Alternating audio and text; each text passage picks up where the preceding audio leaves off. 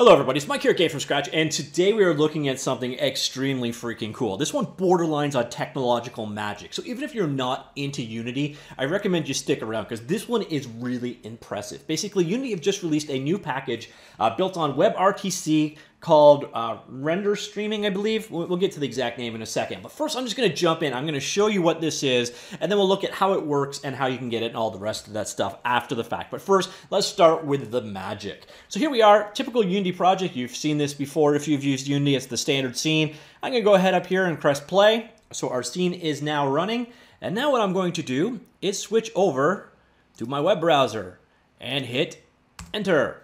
And what you'll see is a little play icon. Give it a couple seconds. And let me just move this guy down a little bit. Look at our scene up in Unity. Look at our scene down here. And what I can do is move things around. And it doesn't end there. Let me just keep showing you some more cool, assuming this actually works. This is an application called Reflector. It allows me to connect my uh, phone over. So what I'm going to do now is uh, Chromecast my phone to my computer, in theory. All right, so there is my phone. I'm just gonna go up here and fire up Edge of all browsers. And then you will see I have entered the exact same URL in. I'm going to press play. And any visual decay you see on the right-hand side, that's just the screen streaming. It's got nothing to do with what's actually happening. But there we go. We are now loaded up, and I'm on my phone moving things around.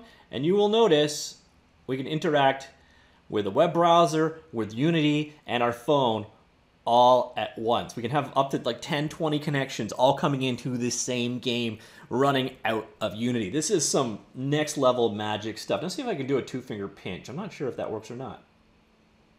No, doesn't look like it. So again, I can come back over here to the browser. And then you see here you've got controls. You can uh, send commands through. Uh, I could also have done that so I can turn the light back on using my phone. So let's turn the light back on. So you see you've got touchscreen commands that you can do and they control all three of the devices. And you can control on any of the screens. And if I go back over again to my phone so it shows, I'll set that to, yeah, it's fine. Put always on top.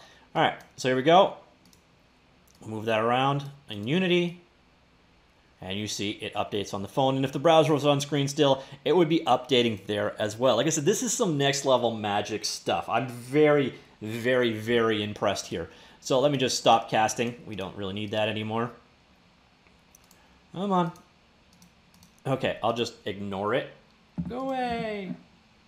And we'll go back over here. So this is um, the new technology they just implemented. There's a couple of things that you got to do behind the scenes to get things up and going.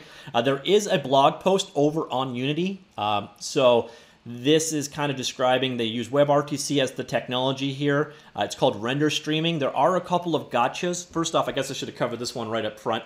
This is unfortunately for Windows users only. You also need to have an NVIDIA card that's fairly current. Uh, I'm using a 1050, and I think that's about the cutoff. You also need to have brand new drivers. Um, and you also need to install the new input system when you're up and going. Uh, so you can simulcast from multiple devices over. Uh, goal is to broadcast to more than 10 devices. We recommend incorporating an SFU decentralized server. Uh, so you are going to run into limitations of what your machine can handle eventually.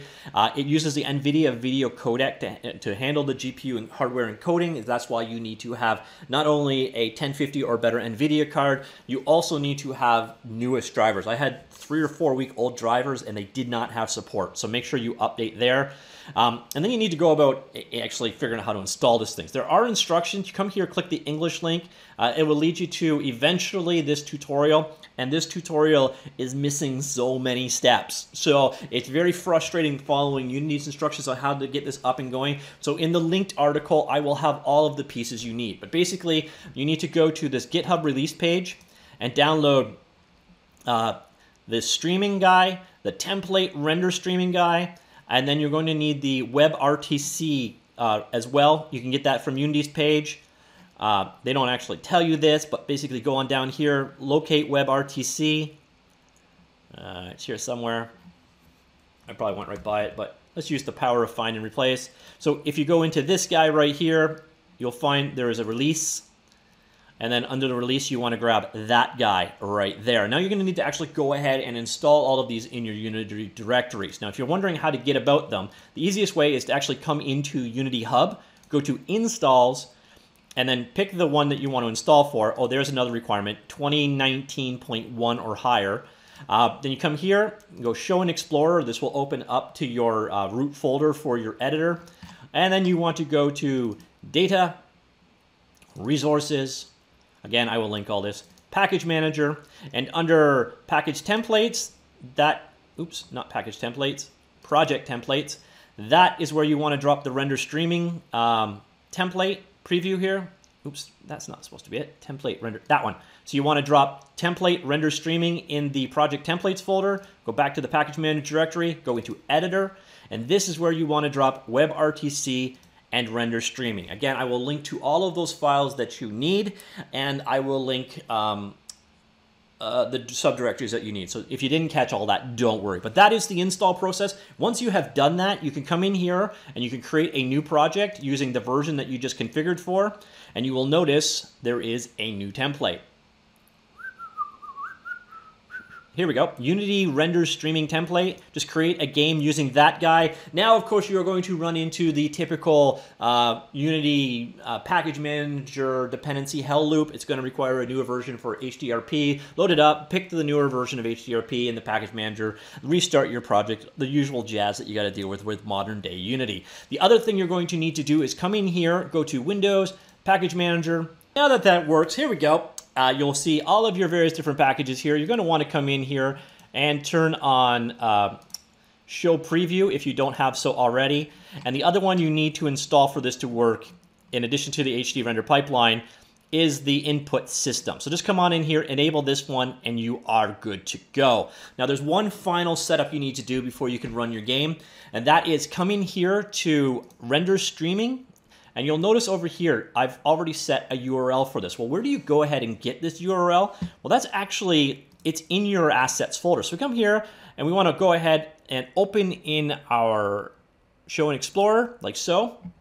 And you'll notice inside of your game's uh, assets directory, there is a folder called assets. Inside of it, there's a folder called bin. And inside of that, there is a web server. Double click that and it will give you a list of IPs that are valid for this machine.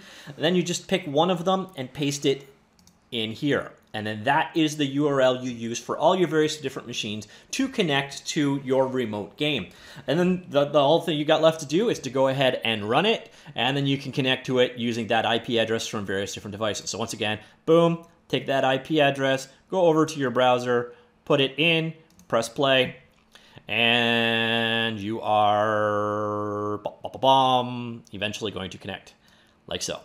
Uh, and it, it, should actually work in all modern web browsers, including um, Chrome. Uh, it works in Edge for Android, and it works for iOS and Safari. So all your mobile support sh should actually have this, and you should be able to get uh, pretty much like full speed, uh, depending, regardless to which actual device you are running on. So this is really cool. And watch, look down here. You're going to see letters as I press them. So I'm here and I've got my browser focused.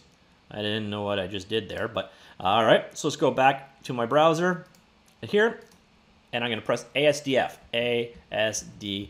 And you can see I'm actually moving around the scene, and the key is being sent through.